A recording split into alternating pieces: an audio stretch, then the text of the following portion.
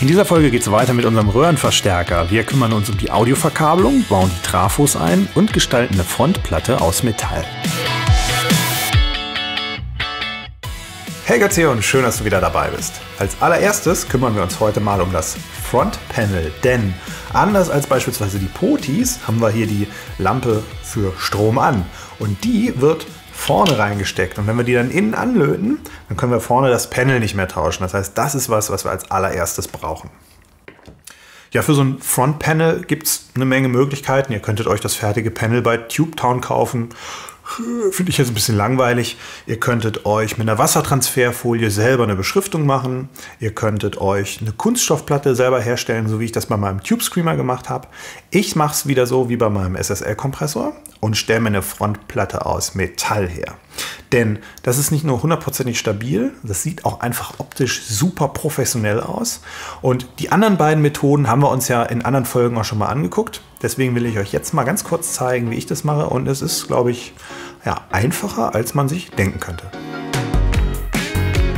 Ich habe hier ein Foto von einem fertigen Amp, ich habe eine technische bemaßte Zeichnung von dem Chassis aus dem Tubetown Forum ausgegraben und, das ist dann schon das gesamte Geheimnis, den Frontplattendesigner von der Firma Schäfer aus Berlin. Das ist ein kostenloses Programm, gibt es für Mac, Windows und für Linux und damit kann man sich eben seine eigene Frontplatte designen und dann logischerweise auch gleich herstellen lassen. Ich lege mir also die Platte genauso groß an, wie ich sie brauche und dann kann ich einfach per Klick Bohrungen, Löcher, Ausschnitte, Haltebolzen und eben auch Beschriftung direkt hinzufügen und entweder per Maus hinziehen oder weil mein Chassis ja schon Löcher hat und ich das genauer brauche, kann ich dann die Position und Werte direkt eintippen.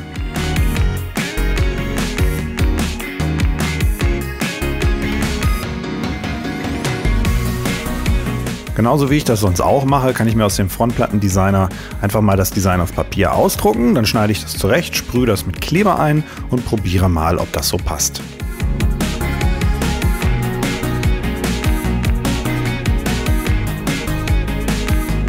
Wir folgen den Gesetzen des Universums, deswegen passt es natürlich beim ersten Versuch vorn und hinten nicht.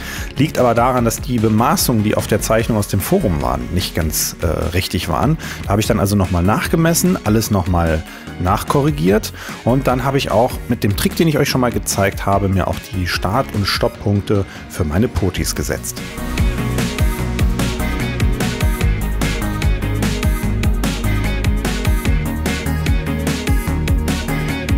Was im Frontplattendesigner übrigens sehr, sehr transparent gemacht ist. Ihr könnt euch auf einen Cent genau anzeigen lassen, wodurch welche Kosten entstehen. Das finde ich also sehr, sehr gut. Ja, und dann habe ich es nochmal ausgedruckt. Beim zweiten Mal hat es dann auch gepasst. Ich hatte das nur um einen Millimeter verschoben aufgeklebt. Ist also so in Ordnung. Und fürs Gefühl habe ich auch schon mal die passenden Poti-Kappen dazu gelegt.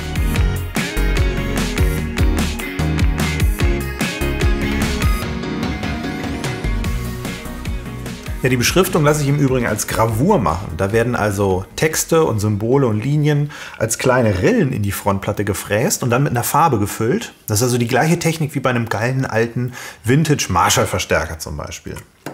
Wer das lieber moderner haben will, kann das machen, wie ich das bei meinem SSL-Kompressor gemacht habe, nämlich als Digitaldruck. Da gehen dann auch ist mal ein Beispiel, eigene Schriften, eigene Farben und vor allen Dingen auch viele bunte Farbverläufe. Da ist also der Kreativität sozusagen keine Grenze gesetzt. Apropos Farben, die Platten gibt es natürlich auch noch in unterschiedlichen Farben. Ich habe mal nur hier so als ganz einfaches Beispiel äh, ein rot eloxiertes Alu, ganz schick, oder zum Vergleich daneben äh, eine Pulverbeschichtung. Das Eloxierte ist so, wie die bunten iPods beispielsweise hergestellt werden. Ja?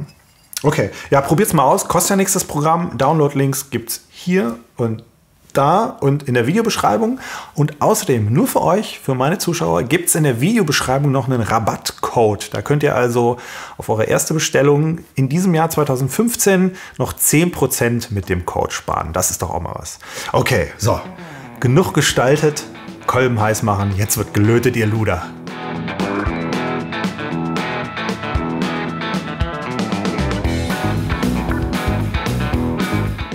Erstes bauen wir mal einen Großteil der Hardware dran, also die Potis, die Eingangsbuchse. Dann haben wir ja noch zwei große Trafos, die dran müssen. Was natürlich noch nicht dran kommt, ist die Beleuchtung. Und als Alternative zu der eckigen habe ich hier auch noch mal so eine runde Leuchte. Mal gucken, ob dies wird. Hier seht ihr die Reihenfolge, in der die Potis rein müssen. Und äh, die ziehe ich jetzt einfach locker mit der Hand fest, denn äh, die werden wir ja für die richtige Frontplatte dann nochmal abziehen müssen.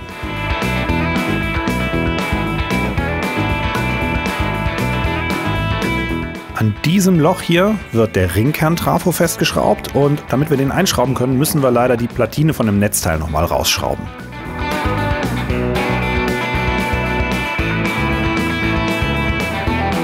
Da könnt ihr auch sehen, welche Kabel in welches Loch kommen und zur Befestigung hat der so eine lange Schraube und eine Gegenmutter, die wir dann von innen festziehen.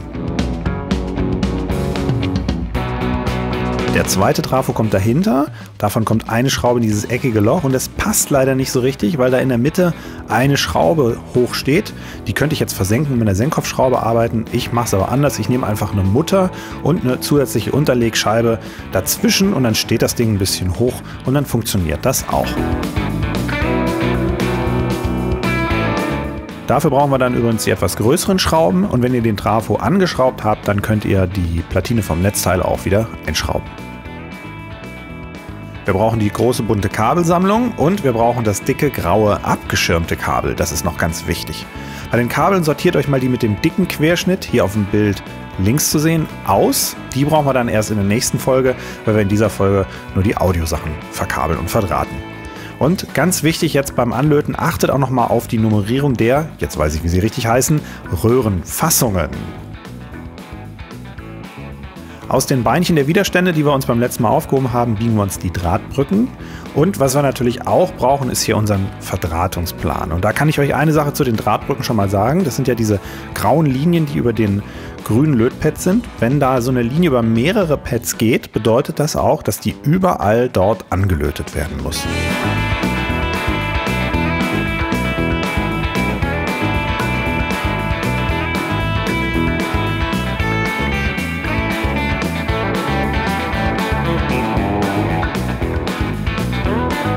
Ja, und jetzt arbeite ich mich hier einfach der Reihe nach durch. Diesen Gewebeschlauch, äh, da erzähle ich euch in der nächsten Folge was zu. Und was ich dann doch schon mal angelötet bzw. angeschraubt habe, ist dieser eine Draht da, der rote von dem Trafo.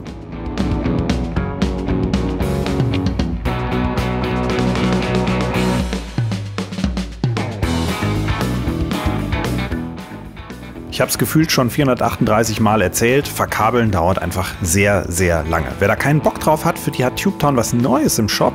Kann man sich dazu bestellen. Ist eine alternative Hauptplatine und da sind dann sämtliche Verbindungen, die man an der Platine an sich machen muss, wie diese Drahtbrücken zum Beispiel, schon auf der Platine drauf.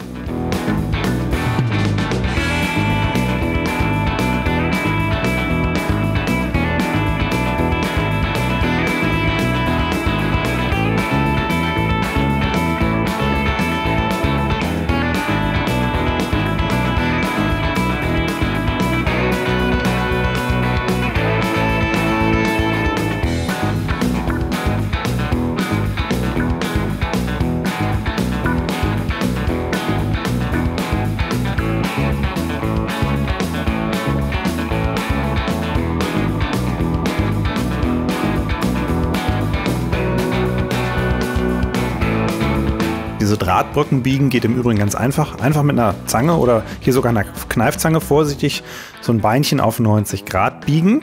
Dann gucken, wie lang das Stückchen sein muss. Ich habe mir hier die Position an der Zange sogar gemerkt, mit der ich ja eine Brücke über eine Position in einem Rutsch gleich umbiegen kann.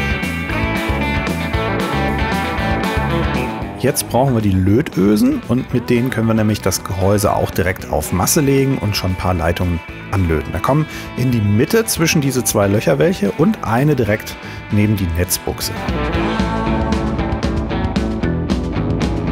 Hier müsst ihr jetzt sicherstellen, dass der Kondensator nicht aus Versehen an den mittleren Pin kommt und deswegen habe ich hier sogar doppelt mit Schrumpfschlauch gearbeitet. Ja, jetzt kommt was ganz Wichtiges. Wir brauchen nämlich jetzt unsere abgeschirmten Leitungen. Da isoliert ihr euch erstmal nur das graue Kabel ab, zwirbelt euch die Abschirmung so zur Seite weg, lasst einen Zentimeter von der inneren Isolierung stehen und isoliert dann nur die Spitze ab. Die wird dann angelötet und die Abschirmung lötet ihr auf der Seite der Potis an die Masse an.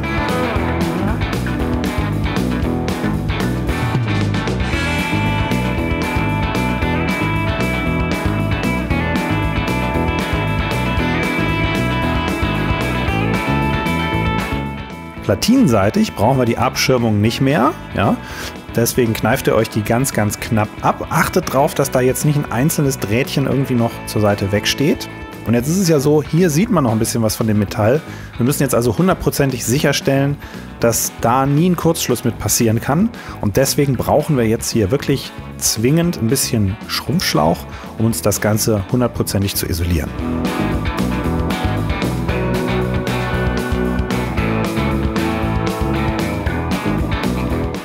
Hier ist das letzte Bauteil. Wenn ihr jetzt das verbaut, dann müsste eure Bauteiltüte leer sein.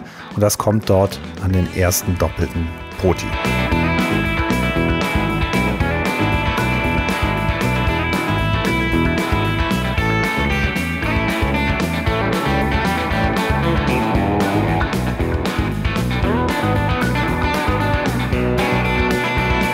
Hier habe ich mir die Abschirmungen alle mal zusammengezwiebelt, löte noch einen schwarzen Draht dran und den lege ich dann einfach auf die Masse und zwar zum Beispiel aufs Gehäuse.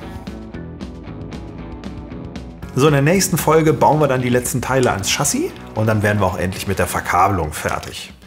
Ich habe zwei Ideen für die Frontplatte und ich würde gerne noch eure Meinung hören. Deswegen schreibt doch mal in die Kommentare, ob euch A, die rote Frontplatte mit den silbernen Poti-Knöpfen oder B, die bronzefarbene Frontplatte mit den goldenen Poti-Knöpfen besser gefällt. Wenn es euch gefallen hat und ihr wissen wollt, wie es weitergeht, gebt mir einen Daumen hoch und ansonsten sehen wir uns nächste Woche. Bis dahin, euer Götz. Ciao, ciao.